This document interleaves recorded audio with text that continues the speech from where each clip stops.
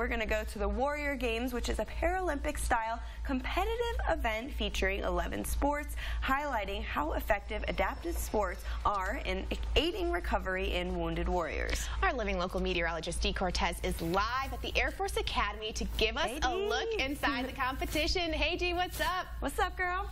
Oh my gosh, you guys, it has been absolutely amazing out here. There's so many amazing stories here at the Warrior Games, but one of the things that you have to keep in mind, and I didn't really even realize until I got here, is first, the athletes have to get here. Now, the people that specialize in getting them here is VMI, and this is Charlie, this is my buddy, and he's going to kind of show us exactly what they've done for the Warriors so that they can get here very easily, right? Made absolutely. it accessible. Yeah, absolutely. We, we are the official transportation of the games. We help the athletes get from their hotel to the games. Open this up yep. Let's, let's do it. Okay.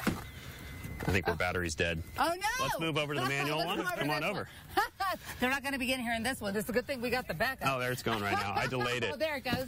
Well, they're very they're they're large vehicles that you specifically designed just for the games, Correct. Right? So this vehicle is actually a special edition just for the games. Just yeah, uh, all this, of them are right. Yep. And these we actually bring all these vehicles up and we take all the teams to the games and take them back every single day. Uh-huh. And then we did this one as a special edition with the wheels and tires from Discount Tire, and then we did the special wrap, call it the Humvee, just for the games because it's in battle. The the vehicle that gets that the warriors to and from battle is the Humvee, and so this is the same type of concept. Now, one of the things that they were saying is it's about freedom for for the athletes yep. to come in. It's giving them freedom, having this kind of accessibility to get yep. around and not have areas that they can't get to, even though they they might be in a wheelchair. This makes it possible for them to actually just be normal, live and, normal lives. And well, and that's that's one of the challenges when you're in a wheelchair. You now have the difficulty of being able to get in and out of a vehicle. Uh-huh. This allows them to get into a vehicle and go wherever they want to go and do whatever it is that they want to do, whether that's training or go to church or go to lunch or go to dinner.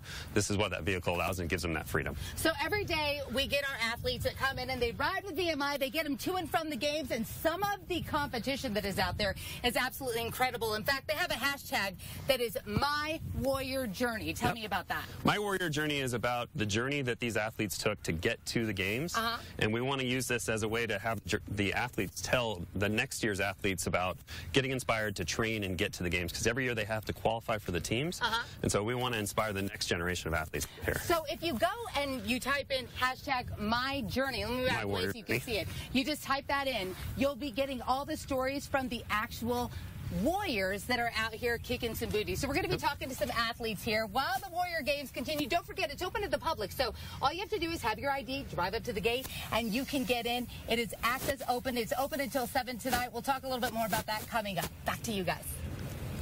Thank you, Dee. Those cars are really yeah, cool. Yeah, that's really cool that they accommodate for those athletes.